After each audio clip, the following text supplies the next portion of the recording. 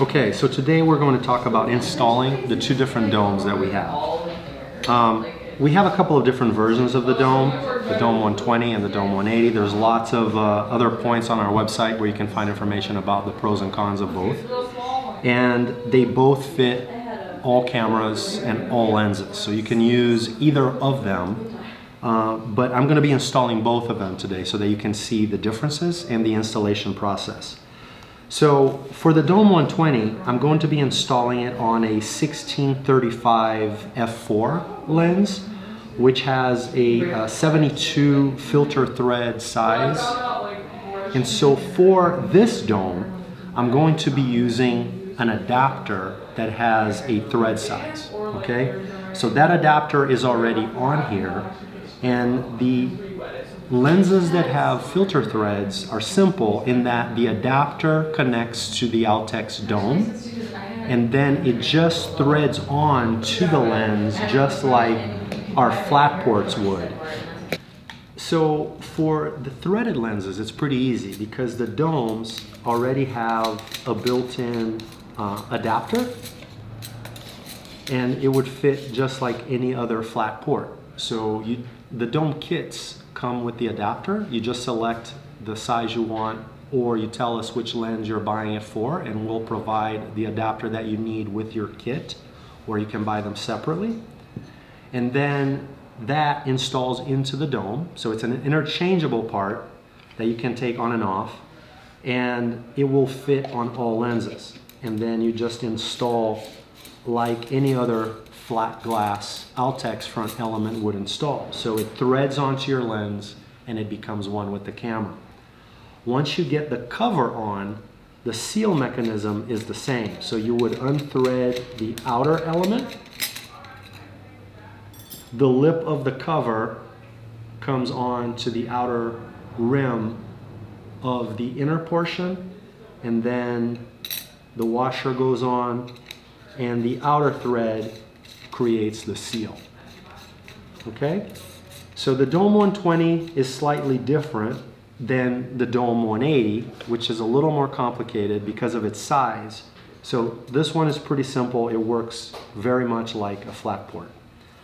With the Dome 180, which I have here, the, the system and the idea is the same. We have threaded adapters and we have clamps. And these are modular, meaning you can buy them separately and one already comes with your kit and you just uh, fit them in so you unscrew them on and off.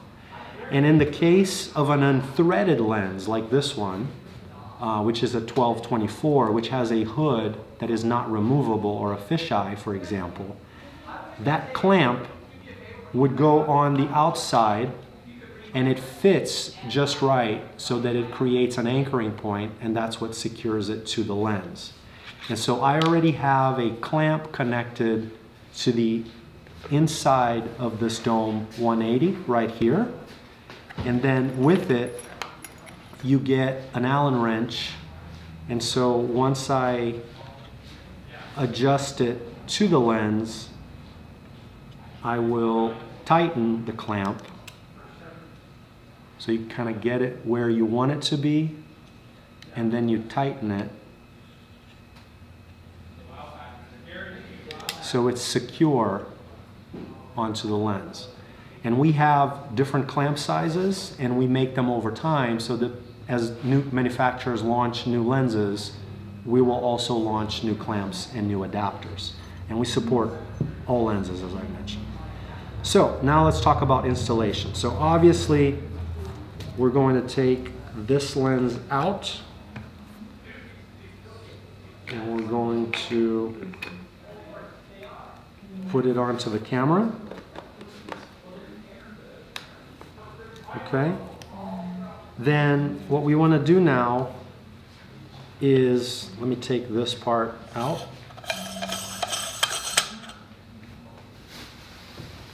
Get it nice and clean on the inside.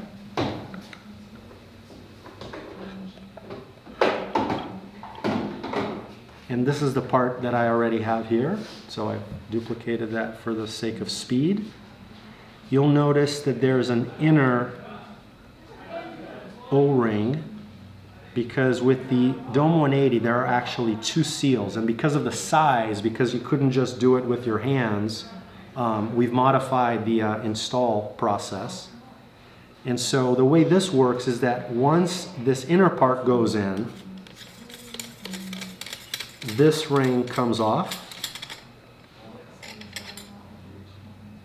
And so this works just like the washer and the outer ring of the Outex system. You would install the cover. The cover would sit on this inner lip, just like the rest of our system.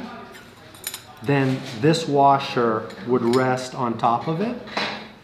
This part creates the seal for the cover.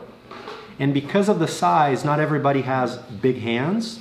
We also provide a wrench, and you'll notice that there are um, crevices here that the wrench can adapt to, and this could help as a leveraging point for you to tighten the seal, okay? So that creates the first seal. Then the rear portion of the uh, lens goes on from the back. So you'll want to have that on first. The dome goes on. And then the rear element goes in last. So you'll want to rest it upside down. And then this threads in from the back. So it's a two seal installation process. So obviously it's a little more complex than the regular system. But again, we try to apply the simplicity and the modularity uh, that you'll see with the rest of the system. They're interchangeable, they're modular. And again, we provide two wrenches so that you can use your hands in, in conjunction with the wrench so that one holds it in place and the other one can create the tightening for the seal. Okay? So I'll do one real quick also with the uh, cover so that you can see it with the cover. Okay, so now that I've gotten my clamp onto my lens, I've adjusted the clamp screw to tighten it against the hood to get it exactly where I want it. I'm going to do a slightly different installation. Normally I would put the lens in first, but for this one, uh, I'll start it from the back. The other thing you can do, actually, let me do it this way.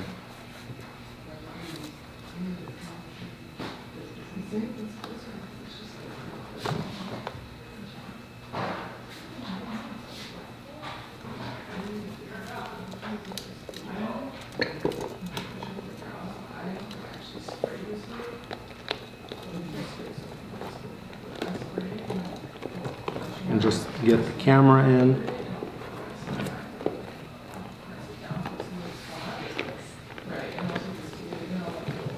And then I can roll this back.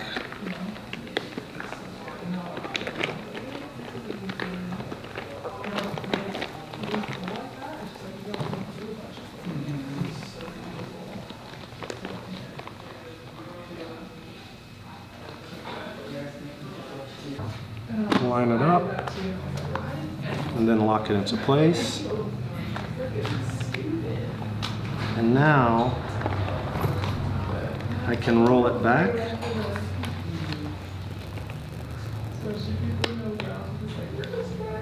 I'm gonna take, I can use the wrench provided to unthread the piece that creates the seal. So this is just like our other front and rear elements. You have got the washer and the part that provides the seal. I'm going now to bring the cover to the lip of this inner part, just like I would on the rest of the system.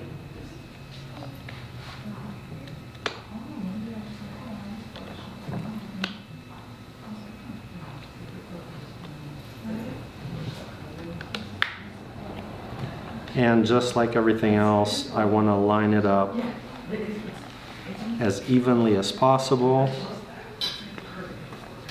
to create an even pressure surface when I'm threading it back on.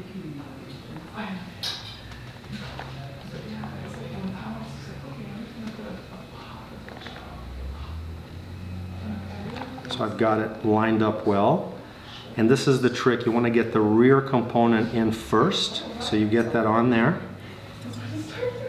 Now, same thing, this has a female lip and you insert it and then this front element will create the front seal and this is the seal onto the housing itself and you can tighten it by hand until you get it nice and tight. And then you can also hold with one hand and use the wrench for an extra little leverage. So you can pull that even a little tighter. And now that that part is already on there's an o-ring already inside this crease and we'll make sure that the glass is nice and clean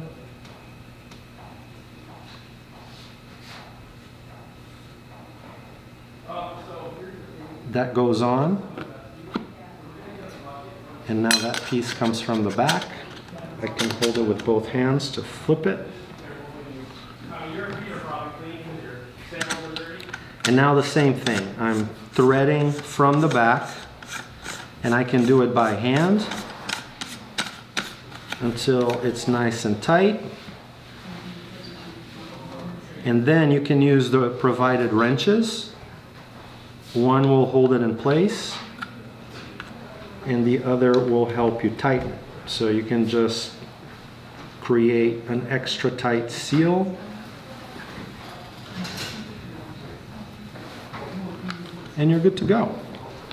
So obviously the back now plate would go on. So the rest of the installation is the same. Uh, so I think most people are already familiar with that. So hopefully that helps. If you have any questions, check uh, our questions page on the website or drop us a line, give us a call, and uh, go from there.